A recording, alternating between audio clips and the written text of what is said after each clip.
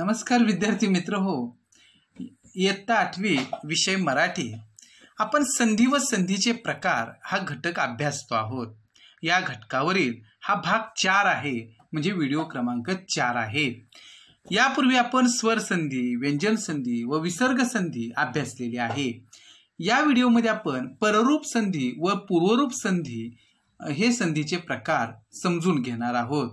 भरपूर उदाहरणांसह सोप्या भाषेत या सर्व प्रकारांचं स्पष्टीकरण मी केलेलं आहे. विद्यार्थी मित्र हो इयत्ता आठवी स्कॉलरशिप परीक्षा व इतर सर्व स्पर्धा परीक्षांची परिपूर्ण तयारी करण्यासाठी हा घटक तुम्हाला नक्की उपयोगी पडेल असा मला विश्वास आहे. चला तर मग आपण पररूप संधी व पूर्वरूप संधी म्हणजे काय ते अभ्यासूया. विद्यार्थी मित्र हो आतापर्यंत आपण स्वर संधी व्यंजन संधी विसर्ग संधी हे तीन प्रकार अभ्यासले. ते संस्कृतशी संबंधित संधीचे प्रकार आहेत. परंतु मराठीमधले म्हणून काही विशेष संधी जे आहेत तर त्याच्यामध्ये पूर्वरूप संधी व पररूप संधी येते. आपण सुरुवातीला पूर्वरूप संधी म्हणजे काय ते समजून घेणार आहोत. पहा पूर्वरूप संधी म्हणजे काय?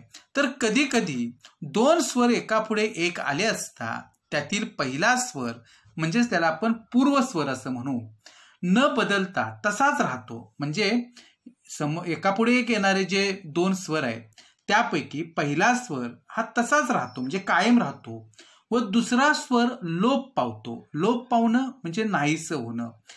आणि दुसरा स्वर लोप पावतो आणि अशा प्रकारची जी संधी असते तर त्याला पूर्वरूप संधी असं म्हणतात.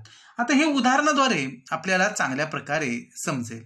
पहा नाही अधिक असा असा आपण एक श विग्रह घेतला एका शब्दाचा की तर तो शब्द म्हणजे नाहीसा असा आहे. मग नाही अधिक असामध्ये नाही हा जो शब्द आहे त्याच्यामध्ये शेवटचा वर्ण कोणता आहे? तर अर्थातच ई आहे. आणि असा हा जो शब्द आहे त्याच्यामध्ये पहिला वर्ण कोणता आहे? तर अ आहे. आता इथे काय झालेलं आहे की दुसरा स्वर जो आहे अ तर त्याचा लोप झालेला आहे. लोप होणं म्हणजे नाहीसा होणं. मग लोप झाला म्हणजे नाहीसा झाला. मग इथे नाही सा असा तो त्या ठिकाणी संधीचा शब्द बनणार. म्हणजेच काय? की पूर्वरूप संधीमध्ये पहिला स्वर कायम राहतो दुसरा स्वर लोप पावतो. तसं उदाहरण पुढचं पाहूया. नदी अधिक आत बरोबर नदीत. इथे सुद्धा बघा पहिला शब्द नदी आणि नदी या शब्दाचा शेवटचा वर्ण आहे ई. आणि आत हा जो शब्द आहे त्यातला पहिला वर्ण आहे आ. म्हणजे अशा पद्धतीनं ए अधिक आ आलेला आहे. आता इथे आचा लोप होतो. लोप होणं म्हणजे नाहीसा होणं म्हणजे दुसरा स्वर लोप पावला म्हणजे नाहीसा झाला. म्हणजे इथे पहिला स्वर कायम राहिलेला आहे. दुसरा स्वर लोप पावलेला आहे म्हणजे नाहीसा झालेला आहे. आणि अशा प्रकारे नाहीसा आणि नदीत हे दोन संधीचे शब्द इथे आपण उदाहरणं म्हणून समजून घेतली. ही दोन्ही उदाहरणं पूर्वरूप संधीची आहे आता इतर आणखी उदाहरणं आपण बघूया. म्हणजे तुम्हाला पूर्वरूप संधी म्हणजे काय? हे आणखी चांगल्या प्रकारे समजण्यास मदत होईल. आता पहा विद्यार्थी मित्र हो आपण नाहीसा आणि नदीत हे दोन शब्द आता बघितलेले आहेत. आता इथं साजेसा हा जो शब्द आहे तर तो कसा बनला? तर साजे अधिक असा. एका पुढे एक येणारे स्वर कोणते आहेत? तर ए अधिक अ. इथे काय झालेलं आहे? ए कायम राहिलेला आहे आणि दुसरा स्वर अ जो आहे तर तो त्या ठिकाणी लोप पावलेला आहे. म्हणजे जिथं दुसरा स्वर लोप पावतोय आणि पहिला स्वर कायम राहतो आणि साजेसा असा तो शब्द तयार झाला.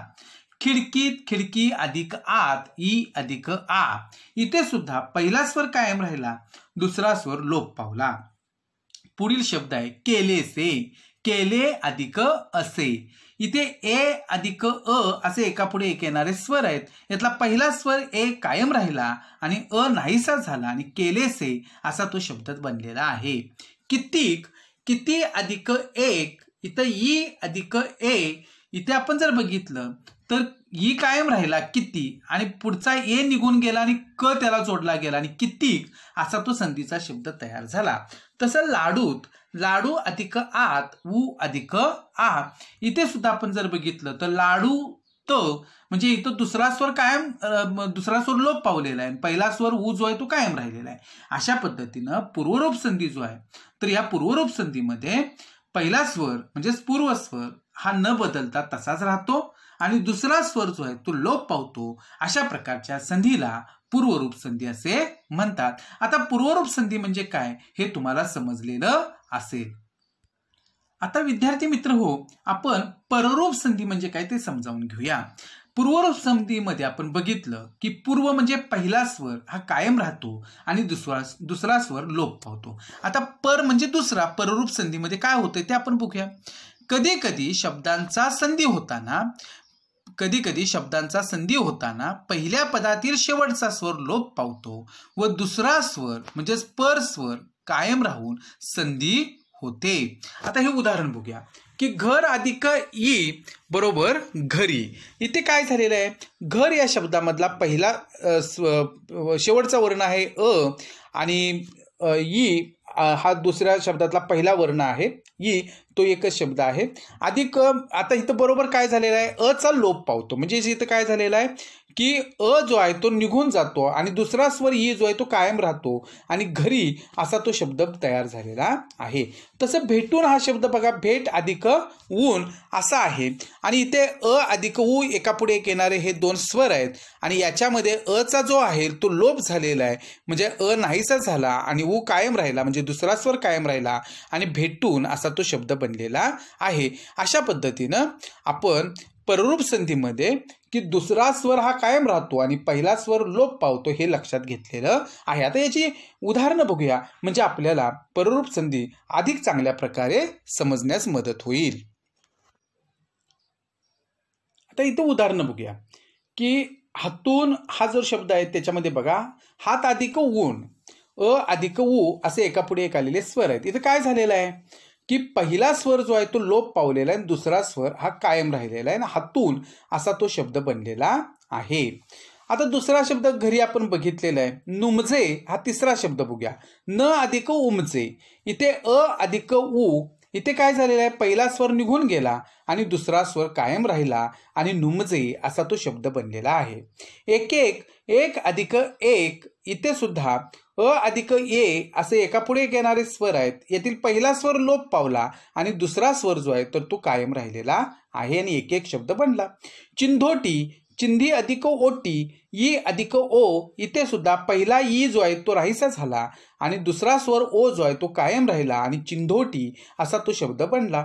घामोळे घाम अधिक ओळे इथे अ अधिक ओ असे एकापुढे एक येणारे दोन स्वर आहेत. यामधील अ हा पहिला स्वर नाहीसा झाला आणि ओ हा दुसरा स्वर कायम राहिला आणि संधी बनलेली आहे घामोळे. करून कर अधिक ऊन अ अधिक ऊ इथे सुद्धा पहिला लोप पावलेला आहे स्वर आणि दुसरा कायम राहिलेला आहे. सांगेन सांग अधिक एन अ अधिक ए इथं अ निघून गेलेलं आहे आणि ए कायम राहिलेलं आहे म्हणजे दुसरा स्वर कायम राहिलेला आहे. यावरून आपले हे लक्षात आलेलं असेल की पररूप संधीमध्ये हा पहिल्या पदातील शेवटचा स्वर जो असतो तो लोप पावतो आणि दुसरा स्वर जो आहे पर स्वर आपण त्याला म्हणतो की कायम राहून संधी होतो. अशा प्रकारच्या संधीला पररूप संधी असं म्हणतात. म्हणजे पूर्वरूप संधी म्हणजे काय आणि पररूप संधी म्हणजे काय ते आता आपण बघितलेलं आहे. आता विद्यार्थी मित्र हो एक वेगळा असा नियम जो आहे तर तो आपण आता बघूया की दीर्घ स्वरापुढे येणाऱ्या स्वराचा मागील स्वराशी बऱ्याचदा संधी होत नाही. उदाहरणार्थ जाऊन हा शब्द असेल तर जा आणि ऊन या दोन शब्दांपासून तो तयार झालेला आहे. पण इथं आपण लक्षात घेतलं पाहिजे की जा अधिक ऊन हे दोन्ही शब्द एकत्र येऊन जाऊन हा शब्द तयार होतो.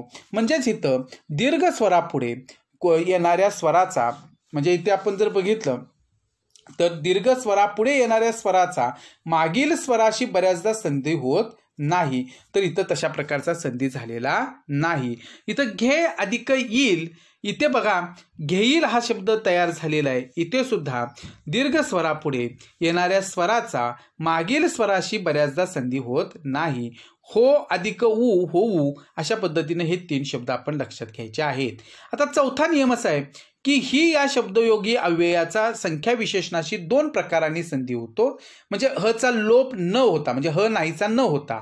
दोन अधिक ही दोन्ही. आता यासारखी उदाहरणं तिन्ही चारही अशा पद्धतीनं. म्हणजे ही या शब्दयोगी अव्ययाचा संख्या विशेषणाशी जेव्हा संख्या विशेषणाशी दोन प्रकारांनी जो संधी होतो तो अशा प्रकारे की समजा दोन असेल हे विशेषण अधिक त्याला आपल्याला ही जोडायचं असेल शब्दयोग यावे तर दोन्ही असं ते तयार होईल तसं तिन्ही चारही. आता काही वेळेला हचा लोप होऊन अशा प्रकारे संख्या विशेषणाची संधी होतो. म्हणजे दोन अधिक ही बरोबर दोन्ही इथं ही नाहीसा झालेला आहे. आणि त्या प्रकारे तिन्ही चारी अशा पद्धतीनं सुद्धा संधी होतो. आता पाचवा नियम असा आहे की अनुरूप अनुसार यांसारखे शब्द जोडताना मागील शब्दाचे सामान्य रूप होऊन मग पूर्वरूप संधी होतो. उदाहरणार्थ गरज अधिक अनुरूप. इथे मागील शब्द जो आहे तो पहिला गरज. त्याचं सामान्य रूप गरजे असं झालं. अधिक अनुरूप म्हणजेच गरजेनुरूप असा तो संधीचा शब्द बनलेला आहे. तसं प्रकार अधिक अनुसार इथं पहिला शब्द आहे प्रकार. त्याचं सामान्य रूप होतं. प्रकारा म्हणजे विभक्ती प्रत्यय लागण्यापूर्वी शब्दामध्ये जो बदल होतो त्याला आपण सामान्य रूप म्हणतो. हे समजून घेतलेलं आहे यापूर्वी. तर प्रकार प्रकारचं प्रकार असं झालं आणि त्याला पुढे अधिक अनुसार म्हणजे प्रकारानुसार असा तो शब्द बनलेला आहे. अशा पद्धतीनं आपण हे संधीचे नियम समजून घेतलेले आहेत. विद्यार्थी मित्र हो मला खात्री आहे पूर्वरूप संधी व पररूप संधी म्हणजे काय हे आता तुमच्या लक्षात आलेलं असेल. आपण संधी व संधीचे प्रकार यामध्ये चारही प्रकारांचा चार व्हिडिओंच्या माध्यमातून चांगल्या प्रकारे अभ्यास केलेला आहे. आज आपण संधी हा घटक इथे पूर्ण करतो आहोत. इतर सगळ्या आपल्या मित्रमैत्रिणींना जरूर सांगा की हा चॅनल सबस्क्राईब करायला. आणि तुम्ही याच सारखे व्हिडिओ जे आहेत तर ते या चॅनलवरती बघत राहा. आज आपण या ठिकाणी इथेच थांबू. धन्यवाद.